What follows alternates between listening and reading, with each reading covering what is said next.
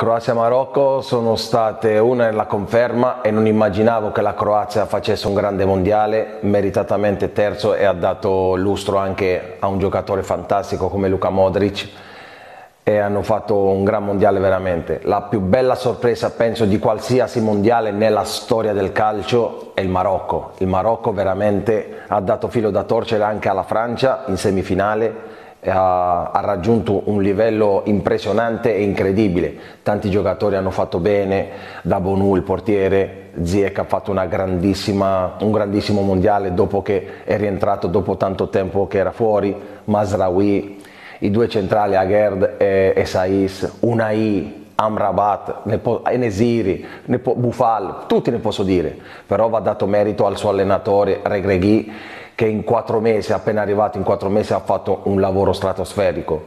Li ha fatti credere veramente che potevano fare un qualcosa di unico e l'hanno fatto. Quando un allenatore è importante eh, ed è una guida credibile, arrivano poi questi risultati. Un qualcosa di, di meraviglioso. Bravo al Marocco e, e, e complimenti anche alla Croazia.